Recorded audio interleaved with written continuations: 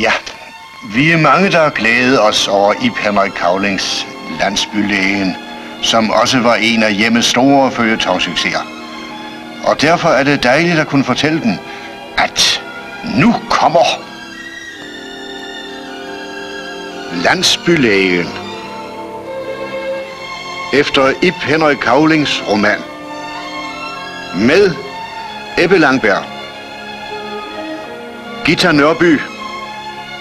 Malene Svarts. Hanne Boxenius. Lone Hertz. John Wittig. Johannes Meyer. Helge Kjærl Schmidt. Jørgen Bukhøj. Knud Hallest og Grete Frische. En ren heksedoktor, vil jeg sige den. Jens Winter, læge. Konsultation 14-15, fredag 18-19. Givet patienterne må komme til at stå i kø her. Og gud, de må blive raske af at komme her. En anden en, han måtte ase op på det fordømte slot på alle mulige og umulige tider af døgnet. Bare en eller anden af familien havde nyst. Eller bøvse ved bordet. Hvis jeg nu er deres søster, eller deres kone, hvad vil de så gøre? Berolige dem med, at det højst sandsynligt blot er noget almindeligt kirtelvæv. Og fjerne det. Så fjern det. Palladiums nye farve hyggefilm Landsbylægen rummer skam både romantik, godt humør og dramatik. Jens, hjælp mig.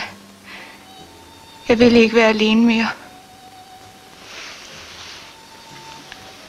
Dr. Winter, vi kender hinanden så lidt.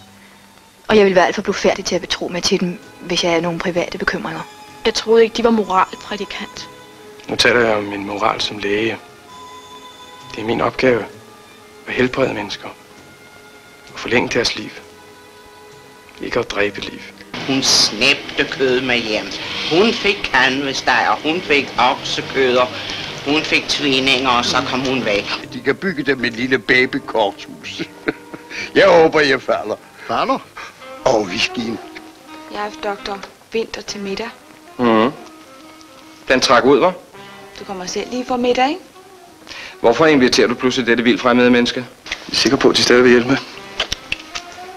Også når jeg fortæller dem, at patientens farlige tilstand skyldes af hendes læge og tjusker med tilsynet. De er nye her. Og hvis de ikke kan tilpasse dem efter forholdene, så tror jeg ikke, de bliver gamle her i byen. Se Landsbylægen efter Ip Henrik Kavlings roman